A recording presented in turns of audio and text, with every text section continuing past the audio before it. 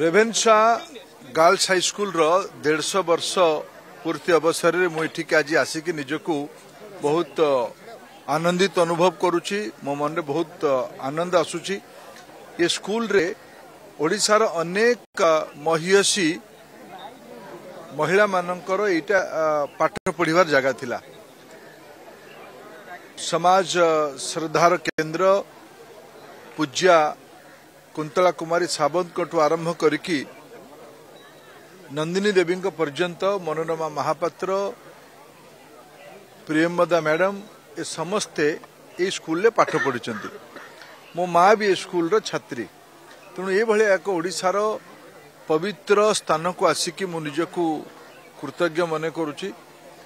ଓଡ଼ିଶାରେ ଦେଢ଼ଶହ ବର୍ଷ ପୂର୍ବେ ସମାଜ ନେତୃତ୍ୱର ନାରୀ ଶିକ୍ଷା ପ୍ରତି କଳ୍ପନାର ଇଏ ସବୁଠୁ ବଡ଼ ପ୍ରମାଣ।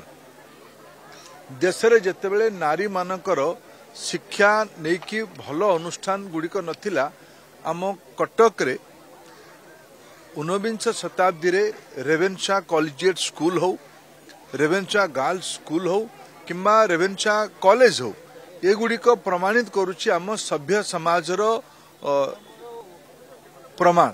ତାର ପରିଚୟ ଏହା ସବୁ ପଛରେ କୁଳ ଗୌରବ ମଧୁସୂଦନଙ୍କର ବହୁତ ବଡ଼ ଦୂରଦୃଷ୍ଟି ଥିଲା ଓଡ଼ିଆ ଭାଷା ଓଡ଼ିଆ ସଂସ୍କୃତି ଓଡ଼ିଆ ଆତ୍ମବିଶ୍ୱାସ ଓଡ଼ିଆ ସ୍ୱାଭିମାନର ଏଗୁଡ଼ିକ ହେଲା ପ୍ରୟୋଗଶାଳା ଇଏ ସ୍କୁଲ ବି- ଏକବିଂଶ ଶତାବ୍ଦୀରେ ବି ଆମ ଦେଶକୁ ମାର୍ଗଦର୍ଶନ କରିବ ଇଏ ଶୁଭେଚ୍ଛା ମୋର ସ୍କୁଲ ପ୍ରତି ଅଛି ମୁଁ ଆଜି କିଛି ସମୟ ସ୍କୁଲର ବର୍ତ୍ତମାନ ପଢୁଥିବା ଝିଅମାନଙ୍କ ସାଙ୍ଗରେ କଥା ହେଲି ମୁଁ ତାଙ୍କର ଆତ୍ମବିଶ୍ୱାସକୁ ଦେଖିକି ମୋ ମନ ଭିତରେ ଆତ୍ମବିଶ୍ୱାସ ବଢ଼ୁଛି ଯେ ଏଇଠୁ ହିଁ ଓଡ଼ିଶାର ନୂଆ କଳ୍ପନା ବାହାରିବ